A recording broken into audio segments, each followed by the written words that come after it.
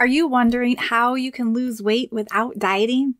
Maybe you've done Weight Watchers, Whole 30, Optavia before and it worked for a while, but it didn't stick. Do you want to shift towards healthier eating so that you can feel better and be healthier on the inside? Well, today I'm going to be talking all about some of these missing pieces from diets and how you can start to lose weight without dieting. If you guys haven't, listen to the episode right before this, episode number 85. I talked about my healthy habit reset.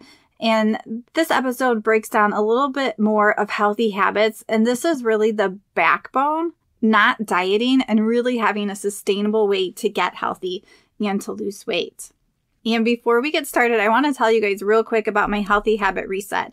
So you guys can do this at any time. There's going to be a link in the description down below where you can sign up and you're going to get a full workbook where you can do a five day healthy habit reset, really start to build those foundations of healthy habits.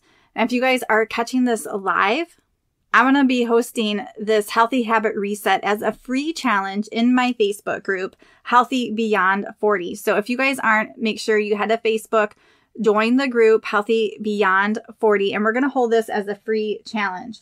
The challenge is going to start on February 12th.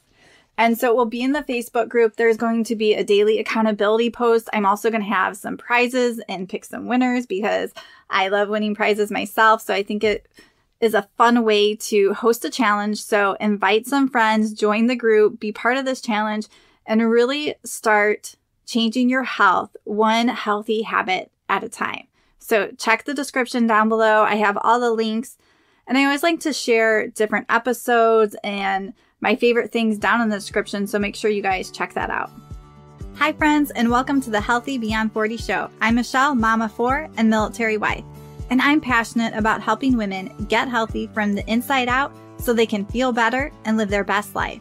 Do you feel like you're struggling to lose weight and get in shape? If you're ready to develop healthier habits, exercise consistently, and lose weight sustainably, then you're in the right place.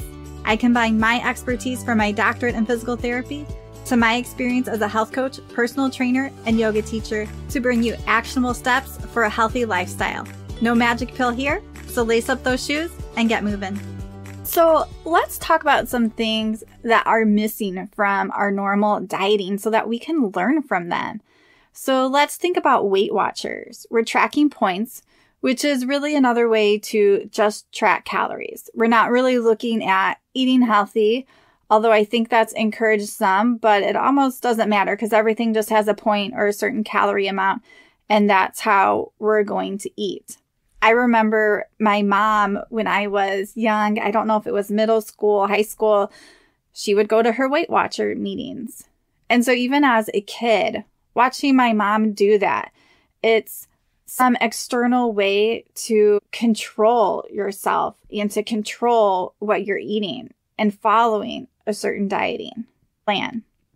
And I don't think that's what we want to teach our kids. We really want to teach them to eat healthy, to have a good relationship with food, that we don't need to diet. We might need to shift their way we're eating to something that is more nourishing and healthier for our bodies but we don't have to count calories or count points. And really, from a nutrition standpoint, calories are important, but that's not all that matters. For example, protein.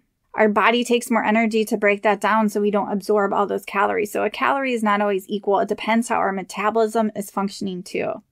Let's take another plan that I've talked to quite a few people and they have tried and it hasn't worked is Optavia.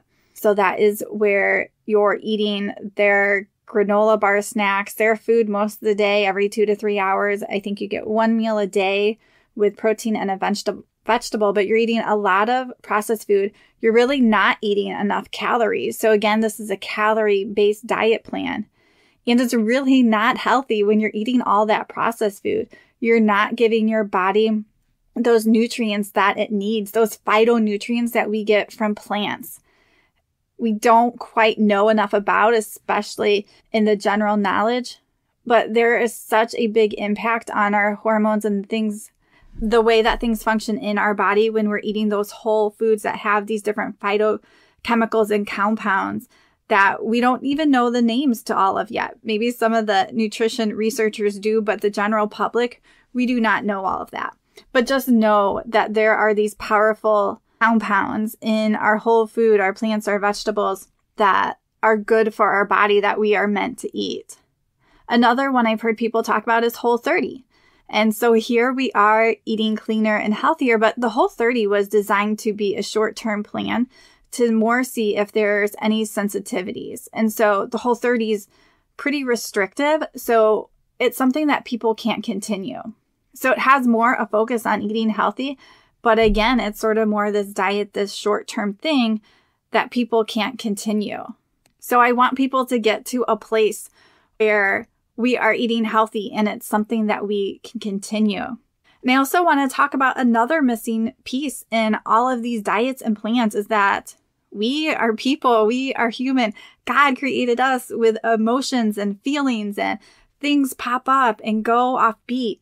And then we get out of doing something and we haven't really changed what we're doing from a foundational standpoint. We just sort of slapped a diet or a plan on top of it.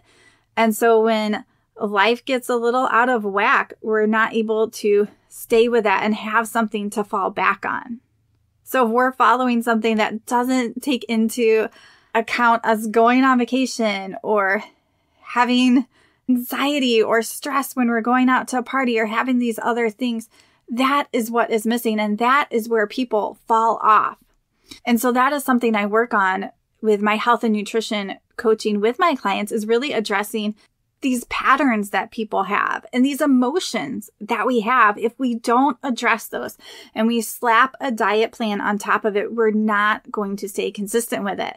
We're going to follow that diet plan, that nutrition plan, whatever it is, but eventually life's going to catch up to us. And these things that we didn't address are going to fall right back into place because they're a pretty strong pattern in our brain. So maybe your pattern is I am stressed out, I eat. My kids are driving me crazy. I go for those crackers or those cookies, whatever it is. I'm anxious and I don't know how to handle these feelings, but that piece of chocolate makes me feel a lot better. Maybe I had a really hard week and I'm going to go to the store and I'm going to buy myself a treat because I deserve it. So if we don't address these patterns when we come off of that diet or that plan, these are going to fall right back into place. And the tricky thing about this is it's not always like straightforward what we need to do to address it because it's a personal thing. Each of us is different. Those patterns for each of us are different.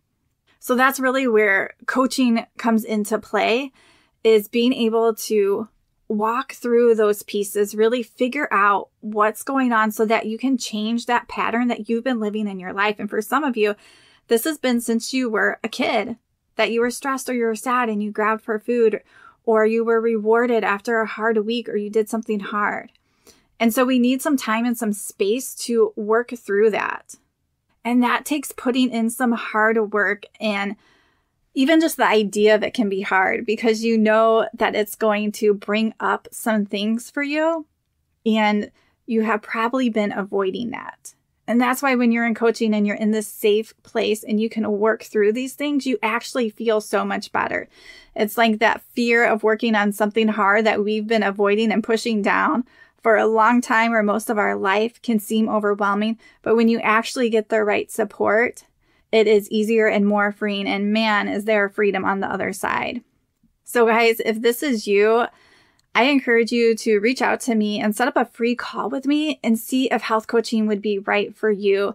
If you're really, if you're ready to work on some of these deeper pieces and patterns that are in your life, because once you work on them, there's freedom on the other side. You've changed the patterns in your brain and you're able to choose differently and not be controlled anymore by food or whatever is right in front of you because you have the tools and you've changed that pattern in your brain to be able to handle those things, to be able to handle stress and have something else to do besides food or anxious or different ways to celebrate when you've had a hard week.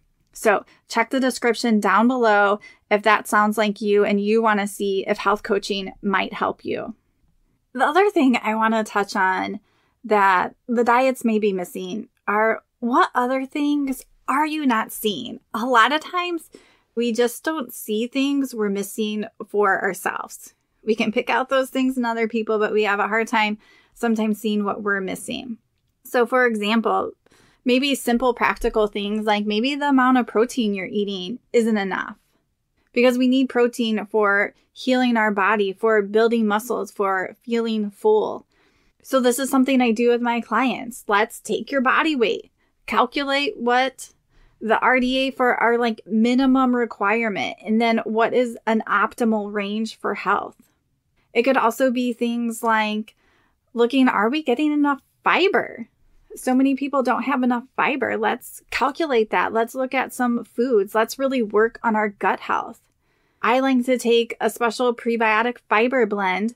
I typically eat enough dietary fiber, but I take this prebiotic fiber blend. So I'm putting special fibers into my gut that help to feed certain good bacteria. So different types of fiber are going to feed different types of good bacteria. So I do take a small fiber supplement just to help build my gut health. For some people, they're going to take it just to increase their fiber intake, but I'm taking it to increase certain times, certain kinds of good gut bacteria. So if you guys want to know more about that, there will be a link down below. Also, inflammation is high in a lot of people. So diets don't really take into account inflammation. So if we're doing Weight Watchers and we're eating a lot of processed food, we're probably eating high in omega 6 and our inflammation is high. So we need to take account of what's going on in our body. Where is the inflammation in our body? How is the food we're eating affecting that? So I'm a big proponent of making sure we're getting enough omega 3s and testing your levels. So I've been recommending this to clients as they start. You guys can also do this at home even without working at me working with me is get your omega levels tested. There's a simple blood test that you can do at home. Then you can start supplementing. You can retest and see like, is my omega 3 level at a good point? And omega 3s are highly anti inflammatory, they bring the inflammation down.